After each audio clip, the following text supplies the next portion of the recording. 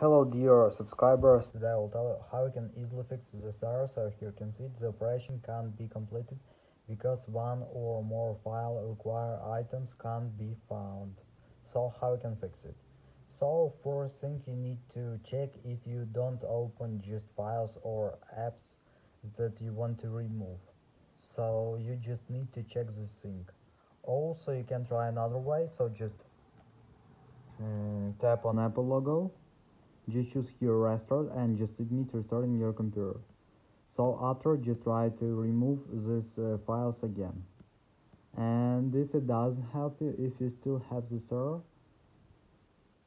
so just uh, try to update your mac. So just go to system preferences.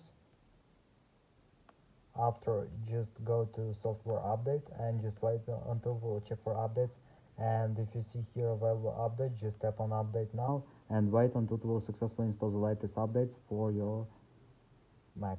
So thanks for watching. Have a nice day. Subscribe to my channel. If you like and goodbye